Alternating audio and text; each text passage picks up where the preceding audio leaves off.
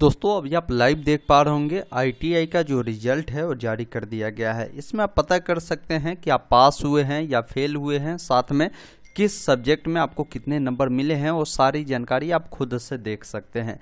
मैं पूरी step by step process साथियों आपको बताने जा रहा हूँ। इस वीडियो को आप अंत तक देखिए। पसंद आए तो इसे लाइक और शेयर ज़रूर कर दीजिएगा। और चैनल पे नए हैं तो सब्सक्राइब ज़रूर कीजिएगा ताकि इस प्रकार के जो भी अपडेट होगा आपको मिलता रहेगा। रिज़ल्ट चेक करने का लिंक मैंने डिस्क्रिप्शन बॉक्स में आपको उपलब्ध करवा दिया है।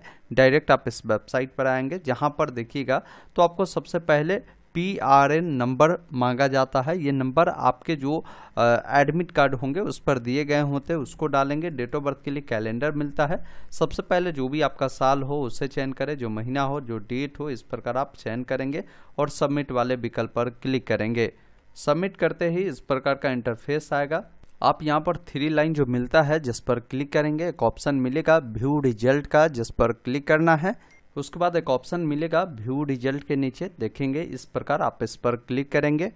आपके सामने आपका रिज़ल्ट खुलकर आएगा। इसमें मुख्य रूप से जो जानकारी देखनी है, साथियों ओवरऑल रिज़ल्ट में देखना है कि आप पास है या फेल है, वो जानकारी देखेंगे। बाकी हर सब्जेक्ट में आप देख पाएँगे कि कितने नंबर की एग्ज़ाम हुई थी, उसमें आपने पास हुआ है या नहीं हुआ है, कितने नंबर आपको मिले हैं, वो जानकारी मिलेगी। टोटल जैसा 600 का एग्ज़ाम हुआ था, इनको चार सौ तिरानवे नंबर मिले हैं, वो जानकारी मिलेगी।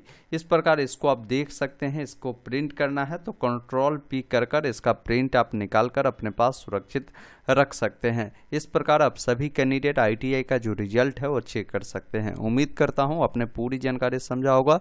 तो वीडियो को लाइक, शेयर ज़रूर कीजिएगा। धन्यवाद। जय हिंद।